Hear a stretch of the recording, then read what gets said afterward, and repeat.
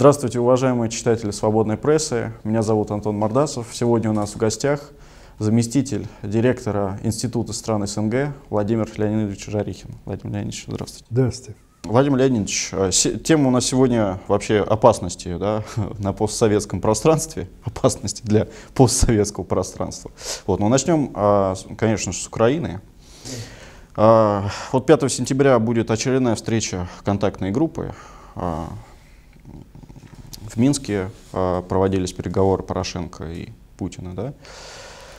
Да? Вроде бы как бы идет диалог, хоть какой-то, но идет, да, и ищется вроде как бы компромисс, да. Вот вчера было такое сообщение интересное, да, от представителей ДНР и ЛНР, которые, в общем, сказали, что Пургин тоже заявил, что они готовы остаться в составе Украины, но на особых условиях. Сегодня уже новое сообщение от того же Пургина, что это неверно. Это была дезинформация. его неправильно поняли. Да? да. Вот, в общем, на ваш взгляд, да, вот вы всегда а, говорите, что а, компромисс возможен в любой ситуации, да, вот э, в различных интервью вы говорите, что, в принципе, Россия уже показала себя как ну, таким миротворцем, да, уже два раза, ну, имеется в виду. А, чеченский кризис. Да? Вот, на ваш взгляд, вообще в этой нынешней ситуации возможен, возможно достижение компромисса, возможно ми, мирное урегулирование? Да? Э, понимаете, в чем дело? Мне кажется, тогда успех э, в переговорах э, с чеченской стороной возник тогда, когда России удалось нащупать субъекта там, который готов был самостоятельно принимать решения по главному вопросу войны и мира. Ну, это был тогда как бы второй человек э, в тамошней иерархии, э, потом президент э, Чечни, да, Ахмад Кадыров. Я боюсь, что пока что такого, такой, такого субъекта в киевской власти нет. Слишком эти субъекты зависят от принятия решений за океаном. И поэтому э, переговоры-то разговоры вести надо. Но э, все время у меня, например, возникает вопрос, а э, имеет ли полномочия, кстати, всенародно избранный президент Украины принимать решение о войне имеет? А тем более имеет ли полномочия всенародно избранный, но давно э, бывший президент Украины Кучма принимать решение по тому же вопросу? Вот в чем проблема. Больше того, а, име, э, а э, имеют ли, так сказать, э, эти, если они какие-то высказывают позиции, являются ли эти позиции окончательными? Мы не раз наблюдали, как какие-то позиции, даже скрепленные подписями министров иностранных дел великих держав, Великобритании, а нет, Франции, Германии, да, Польши, тоже немалая страна – ну, просто на следующий день оказывались клочком бумаги. Поэтому, хотя с другой стороны, э, так сказать, э, абсолютно верно говорит и наш президент. То есть все-таки э, неправильно было бы, пусть э, каждая по-своему, но обе страны, безусловно, великие державы, вовлечены в конфликты Россия и Соединенные Штаты решать вопрос о судьбе Украины, о судьбе войны и мира на, Украине э, между Соединенными Штатами и Россией. Он правильно говорит? Решайте. Находите среди э, э, представителей Донецкой и Луганской республики, представителей Новороссии, те, с кем вы готовы вести переговоры. И пока вы, э, так сказать, этого не сделаете, и не будете все-таки обладать определенным багажом, багажом собственной субъектности, ничего с места не сдвинется. Потому что, к сожалению, и это заметно, э, Соединенные Штаты не заинтересованы в скором регулировании этого конфликта.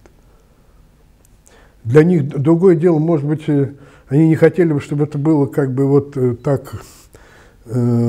так сказать, ну, что ли, так, так сильно горело там на Украине, да? Не хотелось, чтобы это тлело так как-то, да? Скорее. Э, но им, они заинтересованы, что вот такой Сомали посередине э, Европы, вот, России проблемы, Евросоюза проблемы, Соединенные Штаты – островок благополучия в этом, так сказать, горящем мире. Э, но э, поэтому готовы они выйти на субъект, но ведь проблема-то вот в чем. Э, я, я понимаю, так сказать, те, те, э, той ситуации, в которой находится Порошенко. Он сам себя, правда, в нее поставил, сразу скажем. Так что сочувствия-то у меня нет, но я понимаю ситуацию. С одной стороны, э, на него, безусловно, оказывается э, ну, главный инструмент любой оранжевой, э, любой цветной эволюции – это финансовый шантаж. Вот будешь неправильно себя вести, вот номера твоих счетов в таких-то банках, имей в виду. Ну, это вот э, Янукович, это вот прям даже уже открыто говорилось, не тихая, а открыто. Я думаю, и ему говорится. Это первое. А второе, такой инструмент э, э, шантажа того же Порошенко, как э, правый сектор, который явно находится, ну, если не под полным контролем, но уж точно под мощным влиянием со стороны посольства Соединенных Штатов. И шаг влево, шаг вправо, да, и новый Майдан. Поэтому ситуация как бы не способствующая такому лучезарному оптимизму, честно скажу. А, скажите, а то, что вообще американская сторона не присутствует на этих переговорах, а, ну или присутствует в лице, в лице вот Эштон, да, непонятно, кого она представляет, то ли Евросоюз, то ли больше США. Вот почему, в принципе, американская сторона официально Нет, там сейчас, э, в общем-то, американскую сторону опосредованно, как бы нас всех там так как э, телевидение, она представляет ОБСЕ, и как бы нас всех, и Россию, и Европу, и Соединенные Штаты, и Канаду, да, как бы представляет, но на самом деле понятно, что их там нет. В этом-то и проблема.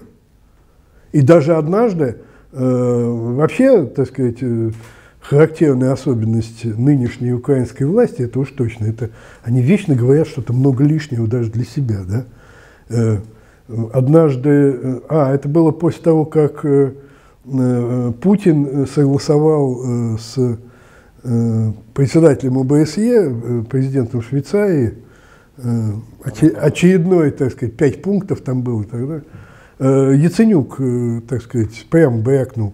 Да там американцев не было, что смотреть на эти пункты. Вот и все. К сожалению, это так сейчас. Почему, э, так сказать, Соединенные Штаты так себя ведут, для меня, э, у меня как бы пока что э, нет единой версии. У меня, у меня, например, несколько версий. Э, понимаете, есть версия, ну что ли, нера, нерационального поведения, потому что с виду оно нерационально, потому что в конце концов вся эта, так сказать, ситуация толкает Россию в объятия Китая что для американцев стратегически не очень выгодно, да? Но при этом вроде бы, так сказать, к ноге, э, так сказать, уста- э, ставится, ставится Европа, да? Э, то есть, если не рациональное, то, так сказать, это некие комплексы и фобии нынешнего американского президента. То есть все-таки он чувствует себя в полной мере первым афроамериканским президентом. Только вот без расизма я э, даю упор на слове «первый», а не на слове «афроамериканский». То есть вот как э, э, Рузвельт был первым э, президентом-инвалидом, как э, Меркель была первой женщиной-канцлером Германии. Вот он первый, так сказать, афроамериканский он считает, что он обязан быть выдающимся. А выдающимся быть не получается. И тогда какие-то комплексы и месть действительно выдающимся политическим деятелям, Путину и Меркель. Вот, так сказать, это рационально, но ведь никто не отменял. Да, борьба монополий, борьба финансовых мешков, борьба за нефть, борьба народных масс, все, все есть но никто не отменял и э, личностный фактор в политике. И это вполне, вполне возможно, может быть двигателем, потому что я до сих пор уверен, что один из основных э, импульсов для того же Буша-младшего, э, в его во многом иррациональной агрессии тогда в сторону Ирака, это было доделать то, что не доделал папочка в свое время. Вот. Это, так сказать, э, иррациональное, личностное, так сказать, как хотите называть. И есть вторая версия, э, может быть, несколько фантастическая, а чем черт не шутит. Может, американцы сознательно создают некий полюс себе. Вот они, им неуютно жить в однополярном мире, они создают полюс. Коммунистический Китай плюс имперская Россия. Вот центр зла, против которого мы должны все вместе объединиться, и тогда как бы и политика станет проще, и э, европейцев держать в узде легче, и э, выбивать деньги на э, оборону, э, на, это самое, на вооружение тоже будет проще. Может быть так, может быть, это их сознательная политика. Но пока что они ведут дело действительно к тому, чтобы вот рассорить Россию и Евросоюз, и они это, кстати, успешно сделали, и э, устроить из Украины вот вечный это самый источник конфликтов на европейском континенте. Ну, плюс выдавливают российские предприятия с европейского рынка. А, Владимир Леонидович, скажите, вот э, вопрос такой. Вот сейчас очень много говорят о мире, да? Вот э, сейчас ополчение демонстрирует ряд крупных военных да. э, побед. Вот вообще э, в нынешних условиях для ополчения э, мир, он э, не то, что нужен, да, выгоден, либо сейчас ополчению, ведущему контратаку, да, ведущее наступление, там, есть мнение, что там и до Киева, и до Днепра дойдут, а, невыгодно сейчас вообще мирное урегулирование вопроса? Мне кажется, сейчас, э, тем не менее, им выгодно, э,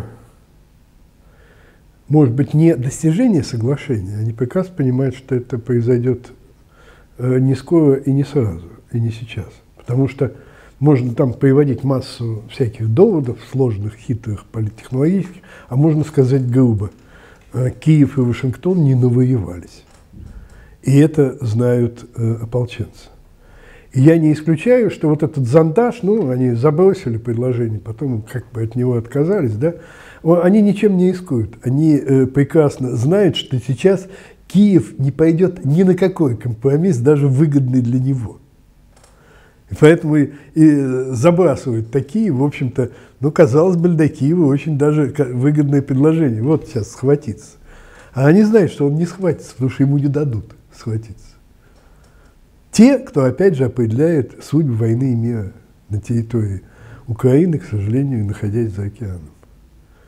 Поэтому, э, и, э, и, и, поэтому, и э, я так понимаю, что это знают ополченцы, поэтому они, так сказать, спокойно как это, как выражались в старые советские времена, а, рядятся в тогу миротворцев, потому что знают, что, так сказать, это им ничем не грозит, что Киев сейчас ни, ни на какие соглашения не пойдет, ему это не позволят.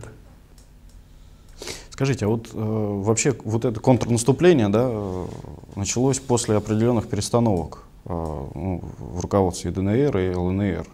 Э, это так совпало, или это действительно? Так совпало.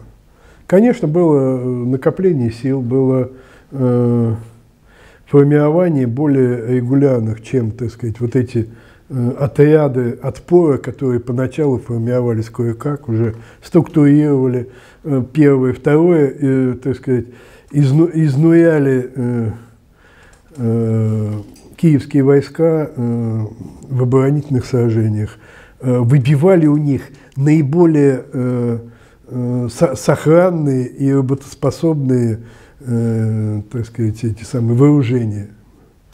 Э, поэтому я бы вот, э, знаете, все-таки э, правильно древние греки говорили, э, древние философы, после того не значит вследствие того. В данном случае, мне кажется, это тоже применимо.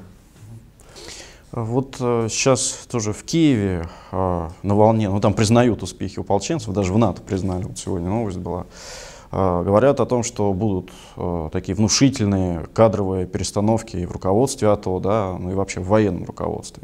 Вот э, на ваш взгляд, это такая суета, да, показная работа, ну как вот и в случае военного положения, да, несколько раз в месяц возникает вопрос о военном положении, и понятно, что вот с грядущими выборами в Раду вряд ли на него кто решится, но этот вопрос постоянно поднимается, там, может, для имитации политической деятельности. Вот вообще какие-то перестановки возможны э, в руководстве? И есть на кого менять? Нет, ну, конечно, возможно, есть на кого менять, будем говорить прямо. Потому что, э, к сожалению, э, Киев воюет чисто по-советски, я бы сказал. И так же, как мы в свое время воевали в Чечне, методом проб и ошибок. Только эти пробы и ошибки искупаются огромным количеством жизней, как мы видим. Конечно, будут призваны другие командующие, те, которые уже прошли, прошли вот этот тяжелый трагический опыт боев на, на местах, они будут воевать лучше, будем говорить прямо. Поэтому, э, поэтому в такой истерике бьется министр обороны несет какую-то вообще полную чушь, именно по этой причине он понимает, что это произойдет.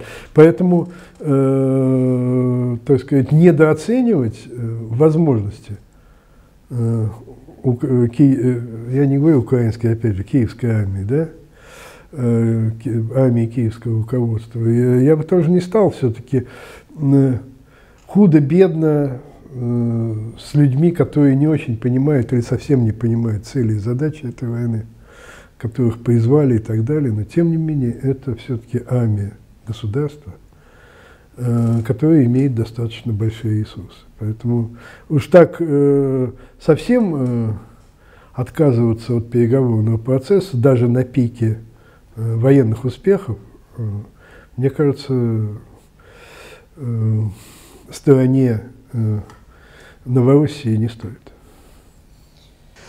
А, скажите, еще один такой важный вопрос, вот я читатель тоже был вопрос, касательно вот этой антироссийской истерии, да, воспитания ее на Украине. Вот э, очень много различных мнений, начиная то, что это там, самостийное течение э, украинское, да, там, своя идеология, и э, заканчивая тем, что, в общем, большую, большую роль в этом сыграл Запад, да, вот эта вся сеть НКО по воспитанию. Вот а, то, что сейчас на Украине, ну, не секрет, что есть определенная, да, антироссийская а, истерия, и э, не берем даже СМИ, да, а, вот что здесь больше работы, да? Работа вот чисто украинской идеологии, либо западной руки? Но ведь вы понимаете, западная, э, привнесенная западная идеология, это тоже чисто украинская. Не надо забывать, что э, всех, э, всех тех, э, э, большинства, большинство тех, кто служил вот э, э, в, те, в тех вот вспомогательных войсках, которые э, были у гитлеровской Германии с э, контингентом из э, Западной Украины, они, их всех подхватили в Соединенные Штаты, в Канаду. И там, в общем-то, все эти годы вот это воилось, вот это, так сказать, вая вот этой вот незалежности, самостийности, противостоящей России – и все это как бы вот хлынуло на Украину после обретения ей независимости. Э, при этом из чисто конъюнктурных соображений укрепления собственной власти э, президенты Украины, сменяющие друг друга, и э, Кравчук, и Кучма, они этому не противостояли, они скорее даже в чем-то этому способствовали. И поэтому сформировалось вот то, что в итоге очень точно по-своему назвал, э, называя свою книгу э, Кучма, «Украина не Россия». То есть формирование собственной государственности не на внутренних источниках, а на противостоянии, противопоставлении России. И это принимало и мягкие формы, как в книге Кучмы, и жесткие, как э, э, в методичках партии «Свобода», «Правого сектора» и так далее. Но все это шло на то, что формировался целый слой молодежи, которая воспитывалась в противостоянии к России, к, воспитывалась в убеждении, что без России, только без России Украины будет лучше. Это, да, сформировалось. А сейчас, и поэтому, вот какая же это мощная украинская сейчас пропаганда в средствах массовой информации, что они так задурили людей. Это упало вот на эту подготовленную почву. Вот сейчас. Ну и плюс, э, вы понимаете, что э, объективно все-таки потеря Крыма во многом, так сказать, было очень болезненно для э, многих Э, в центре и на, западе Украины, и это тоже способствовало вот, э, возникновению такого рода настроений. Ну вот, э, говоря о российской стороне, да, вот не секрет, что сейчас очень много мнений среди экспертов, среди политологов, довольно известных, о том, что э, были со стороны нашего руководства э, определенные просчеты ну, э, по отношению Украине, да, и вот э, говорят, что там ошибка самая главная была сделана это в четвертом году, да, когда был допущен. Вот вы с, с этим согласны, что э, были определенные серьезные ошибки ну вот, в, в, нашем, в нашей политике по отношению к Украине? Э, мне кажется, в тот момент уже у нас достаточно безвариантная ситуация была. Вот как же поддержали такого всякого Януковича? А кого можно было поддерживать? Э, ну, скажем так, Янукович, конечно, не подарок. Но возьмем других деятелей. Шмороз еще в 10 раз больше не подарок. Уж более вот такого вот э, э, политического лидера трудно придумать. Да? Я уж не говорю там про Ющенко, да? Тимошенко. Собственно, выбор-то был невелик. Первое. Второе, да, действительно, вот Владимир Владимирович говорил об этом, что, э, собственно говоря, Кучма сказал, вот мой преемник-то. Э, но ведь Кучма, э, он-то нашему президенту как бы сказал, что это преемник, которого он будет двигать и так далее. Да? А в итоге, и, кстати, Марат Гельман, э, который в то время как бы был политсоветником, у Кучмы подтвердил эту мою версию, когда я ее высказал тогда еще, что Кучма-то играл свою игру. То есть он выдвинул, выбирая, во-первых, была, э, всегда была в тот момент, и она во многом до последнего момента оставалась, такая данность, что э, представитель Юго-Востока Украины должен на Украине в силу, так сказать, вот, настроения населения побеждать в первом туре. Э, но при этом э, Кучмин, Кучма хотел чтобы представи, был представитель Юго-Востока, но чтобы он не победил в первом туре. И он специально выбрал Януковича и специально засветил его две судимости. Чтобы был баланс, в условиях этого баланса он уже приходит заготовленный Медведчуком Конституции редакции 2003 года, где основным становится премьер-министр – и в ситуации вот этого противостояния он становится премьер-министром, который имеет президентские полномочия, по сути. Вот такая у него была идея. Он переиграл сам себя, но идея-то такая у него была. И вот эти игры, да, в итоге появили крахи и, и Кучмы, и в дальнейшем Януковича. То есть Янукович, Януковича использовали как инструмент во многом. Вот если говорить о Януковиче, да, то есть когда он э, тут у нас в Ростове обосновался, да, то есть да. Э, в такие основополагающие моменты он как бы делал заявления, но потом они стихли. То есть это вообще чем можно объяснить? И вообще, для чего были те э, его заявления? То есть, ну, вначале он как легитимный президент вроде как выступал, да? Вот сейчас он вообще...